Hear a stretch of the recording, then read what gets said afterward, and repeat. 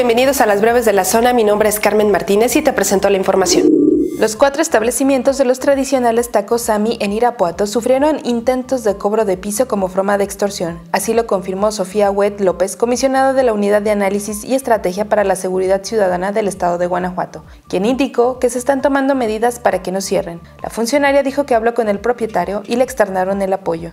De paso, indicó que el delito de extorsión en la entidad poco se denuncia y registran una cifra negra superior al 90%. Tan solo el año pasado apenas se presentaron 13 denuncias. En lo que va de este año han registrado una o dos denuncias más por este mismo ilícito, por lo que Sofía Huet López invitó a los ciudadanos a hacer sus denuncias de forma segura y anónima al 089.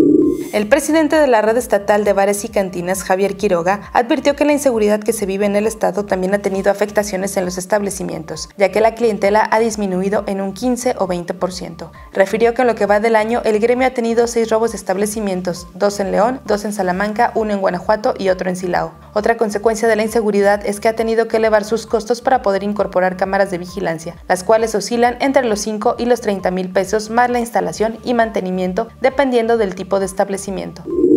El Colegio Nacional de Educación Profesional Técnica, mejor conocido como CONALEP, señaló que la alumna Paola Ontiveros, quien denunció acoso escolar, lo que la orilló a dejar sus estudios, fue atendida en cada uno de los procesos en los que se quejó. La institución no negó el acoso, pero además culpó a la alumna de ser ella quien grababa a los maestros y los acosaba. La alumna explicó previamente a Zona Franca al denunciar su caso que comenzó a grabar las conversaciones que tenía por miedo a cualquier tipo de represalias. La Secretaría de Educación Yolosochil Bustamante 10 informó que la dependencia estatal ya el caso, aunque no se les permite entrar a fondo por tratarse de un subsistema de educación.